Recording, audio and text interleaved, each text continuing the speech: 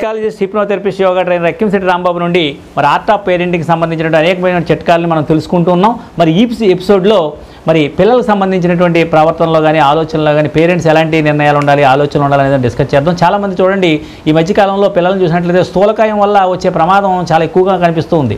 పిల్లలు ఎక్కువగా స్థూలకాయంతో ఇబ్బంది పడుతూ వారు ఆ సరైనటువంటి ఆటల్లో కానీ అనేకమైనటువంటి కార్యక్రమాల్లో పాల్గొలేకపోతున్నారు మరి స్థూలకాయం వల్ల వచ్చేటువంటి ప్రమాదాన్ని పెద్దలు గుర్తించాలి. సైకలాజికల్గా కానీ ఫిజికల్గా కానీ సమస్యలను ఎదుర్కోవాల్సి ఉంటుంది. ఎక్కువ బాడీ వెయిట్ పెరిగినట్లయితే. అతిగా తినిపించొద్దు. చాలామంది పేరెంట్స్ ఏంటంటే పోషకాహారం అనేటువంటిది ఈ రోజు అంతా అందుబాటులో ఉంటుంది. ఎవరికి కూడా చాలామందికి ఎందుకంటే తల్లిదండ్రుల దృష్టి అంతా కూడా పిల్లవాడు బాగుండాలనేటువంటి కోరిక ఉంటూ ఉంటుంది కాబట్టి అందులో భాగంగానే ఎక్కువగా తినిపించేస్తున్నారు. కావాల్సిన దానికంటే కూడా ఎక్కువ ఇంటేక్ అనేటువంటి జరిగిపోతూ ఉంది. మరి అతిగా తినిపించొద్దు. శరీరానికి అవసరమైనంత పెట్టండి. వాళ్ళకి నిజంగా ఎంత ఆహారం కావాలో అంత మనం ఇవ్వాలి. ఆ న్యూట్రిషనల్ ఫుడ్ అనేటువంటిది సరి- ఖచ్చితంగా వయసుకు తగిన విధంగా ఇస్తే వాళ్ళు చాలా హ్యాపీగా యాక్టివ్గా పెరగడానికి ఉంటూ ఉంటారు. అదేవిధంగా చూడండి శరీరానికి ఆ ఆహారం మితంగా ఇస్తూ వ్యాయామం ఆటలు అనేటువంటివి చాలా ఉండాలి. మరి ఈ రోజుల్లో ఈ అపార్ట్మెంట్ లైఫ్ కావచ్చు లేకపోతే చిన్న చిన్న ఇరుకైనటువంటి ఇళ్ళలో ఉండేటువంటి దాంట్లో వ్యాయామం కానీ ఆటలు కానీ లేదు. అదేవిధంగా కాలేజెస్లో కానీ స్కూల్స్లో కానీ ఆటలు ఆడించేటువంటి సమయం కానీ ప్రదేశం కానీ ఉండట్లేదు. మరి ఈ ఇది ఉండాలి ఖచ్చితంగా. పది నుండి ఇరవై వయసు ఉన్నటువంటి మీ పిల్లలు పది నుండి ఇరవై సంవత్సరాల వయసు ఉన్న మీ పిల్లలు నేలపై పడిన పెన్నం తీయడంలో కూడా ఇబ్బంది పడ్డారనుకోండి ఇలా వంగి పెన్న తీయలేకపోతున్నారంటే లేదా మెట్లెక్కి దిగేటప్పుడు ఆయాసపడిపోతున్నారంటే సైకిల్ తొక్కడం కూడా కష్టంగా ఓ ఉగురుస్తున్నారంటే పరిగెత్తలేకపోతున్నారు. కొంతమంది పరిగెడితే అలసిపోయి ఆయాసపడిపోతున్నారు కూర్చో కూర్చుండిపోతున్నారు ఆటలాడడానికేమో వెనకబడిపోయి ఆ యొక్క ఆ పీడీ గారు రండి ఆటలాడిస్తామని పిల్లల్ని ఎంకరేజ్ చేస్తున్నా సరే వీరికి లోపల అది ఆడలేనటువంటి పరిస్థితి. ఆటలు ఆడడానికి వెనకబడి ఎక్కడో వెళ్ళి కూర్చునేటువంటి పరిస్థితి మనం చూస్తూ ఉన్నాం. మరి ఇలాంటివన్నీ ఉన్నాయంటే తస్మాత్ జాగ్రత్త. మీ బిడ్డవాడు సరైన ఆరోగ్యంతో ఉండట్లేదు. ఖచ్చితంగా ఈ యొక్క ఓవర్ వెయిట్ కావచ్చు ఈ ఒబిసిటీ అనేటువంటిది ఇబ్బంది పెడుతుందని మీరు గుర్తించాలి. అతి భారీ కాయలు పడే అవస్థలో వారికి చూపించండి. పెద్ద పెద్ద భారీకాయలు ఉంటూ ఉంటారు కొంతమంది చూస్తూ ఉంటాం మన సమాజంలో. మరి వాళ్ళు ఎంత ఇబ్బంది పడుతున్నారో చూపించండి. వ్యాయామం లేకపోతే నీవు కూడా అలాగే అయిపోతావురా. ఇబ్బందులు పడతావని హెచ్చరించండి ముందే. హెచ్చరించి చిరుతిళ్ళు ముందు ముందు చిరుతిళ్ళు ముందు మీరు తినడం మానేయండి. మీరు ఇరవై నాలుగు గంటల మిషన్ ఆడించొద్దు. తిండి ఎక్కువ అయ్యే కొద్దీ జీర్ణాశయం పవర్ పెరిగిపోతూ ఉంటుంది. పేగులు కూడా వెడల్పుగా మారి తగినంత డోసు అందలేదనుకోండి ఇంకా మరింత లాగించేలా మీ పొట్ట ఆవురు ఆవురు అనిపిస్తూ ఉంటుంది. మనం ఎప్పుడు కూడా ఆ తిండిని ఎక్కువ అలవాటు చేస్తే ఇంక అంతే దానికి ఆ ఇంటేక్ పడితేనే కానీ సాటిస్ఫాక్షన్ ఉండదు. మరి అలా అలా అంతలా తయారు చేయకండి దాన్ని. అందుకని మొదటి నుంచి కూడా ఎంత కావాలో అంతే తినడం అనేటువంటిది అలవాటు చేయాలి. మనం కంట్రోల్ చేసుకుంటూ పిల్లల్ని కంట్రోల్ చేయాలి. ఆ విధంగా మనం ఎప్పుడే తెలియకుండా అలా చేస్తుంటే మనల్ని కొంతకాలం మనల్ని తిండిపోతుల్లో మార్చేస్తుంది మన శరీరమే. మరి ఫ్రిడ్జ్ పదార్థాలు కానీ కొవ్వు తీపి ఎక్కువ పద ఎక్కువగా తీపిగా ఉన్న పదార్థాలు కానీ ఐస్ క్రీమ్స్ కానీ ఇలాంటివన్నీ కూడా ఎక్కువగా తినాలనిపిస్తూ ఉంటుంది సహజంగా. తీపి చూడండి ఒకటి రెండు స్వీట్లు తిన్నా ఇంకా మనకి తినాలనేటువంటి బ్రెయిన్ సంకేతాలు ఇస్తూ ఉంటుంది. తిన్నాక తృప్తి లేక మరలా మరలా తినాలనిపించడం ఒక చెడు అలవాటుగా మారిపోతూ ఉంటుంది.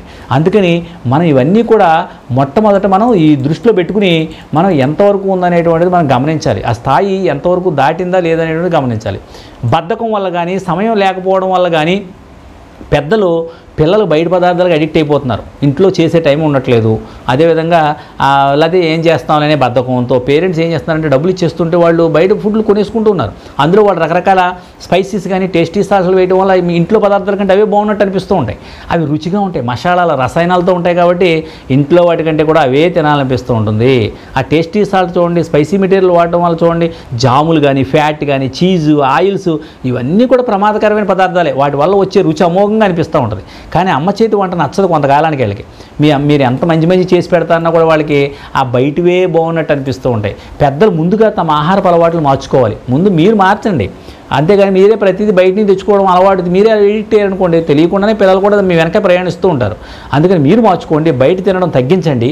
ప్రత్యేక సందర్భాల్లో అంటే ఎప్పుడైనా పుట్టినరోజులు కానీ ర్యాంక్ వచ్చిందనో లేదా విజయం సాధించాడనో మీ అబ్బాయి బహుమతులు పొందాడనో హోటల్స్కి రెస్టారెంట్స్కి అనుకోకుండా ఏదో ఓ సినిమాకో పిక్నిక్కో ప్రసిద్ధ దేవాలయానికో బంధువులు ఇంటికో అని ప్లాన్ చేసుకోండి పర్వాలా. ఎప్పుడైనా అకేషనల్గా అలాంటి వాటి జరుగుతూ ఉంటాయి. కానీ ప్రతిరోజు ఇలాంటి వాటికి ఎడిక్ట్ అయిపోకూడదు. అతి దురదృష్టకరమైనటువంటి చెడ్డ అలవాటు ఏంటంటే టీవీ చూస్తూ భోజనం చేయటం. ఆహార పదార్థాలు తినడం. చాలామంది టీవీ ఎక్కువ మంది కుటుంబాల్లో ఏదో జరుగుతూ ఉంటుంది. ఎక్కువ ఉపకాయం ఉన్న పిల్లలు ఎలా టీవీ చూస్తూ తినేవారే. డైనింగ్ టేబుల్ ఉన్న గదిలో ఎట్టి పరిస్థితులను కూడా టీవీ ఉంచకండి అసలు. అన్నం పరబ్రహ్మ స్వరూపం. మనస వాచ కర్మణ ఆస్వాదిస్తూ తినాలి. కుటుంబ సభ్యులందరూ కలిసి తినండి. ఆడవారికి పని కూడా తగ్గుద్ది చక్కగా. ఒకే టైంకి అందరూ భోజనం చేస్తున్నారు అనుకోండి చక్కగా అన్నీ కూడా సర్దుకోవడం కానీ అన్నీ ఎక్కువ తక్కువలు కానీ సరిపెట్టుకోవడం కానీ ఎంతో ఆనందంగా ఉంటూ ఉండదు కలిసిమెలిసి మాట్లాడుకుంటూ తినొచ్చు. పేరెంట్సే పసిపాపలకు సెల్లో టీవీ ట్యాబ్లు చూపిస్తూ అన్నం తినిపిస్తున్నారు. వాడు తినట్లేదని. పూర్వం అయితే ఏం చేస్తుంటారు? ఆ కా కాకిలనో కా కుక్కలనో ఏవో చూపిస్తూ చూపి తినిపించేవారు. పేరెంట్స్ అంటే ఆ పసిపాపలకు ఇప్పుడు ఎలా ఉన్నారంటే అంతా కూడా సెల్ ఫోన్ టీవీ చూపిస్తూనే భోజనం చేసి తినిపి లేకపోతే వాళ్ళు కూడా కొంతకాలానికి అది లేకపోతే తినే పరిస్థితి లేకుండా అయిపోతుంది. పెద్ద అయ్యాక వాటికి బానిసలు అయిపోయాక లబోదీపం అంటూ సైకాలజిస్టుల దగ్గరకు వస్తూ ఉన్నారు. మా వాడు ఇరవై నాలుగు గంటలు టీవీ చూస్తున్నాడు ఇరవై నాలుగు గంటలు సెల్ ఫోన్తో ఉంటున్నాడు అది లేకపోతే భోజనం చేయట్లేదు అది లేకపోతే మాట వినట్లేదు. అంటే మనమే అలవాటు చేస్తూ ఉన్నాం ఇవన్నీ కూడా.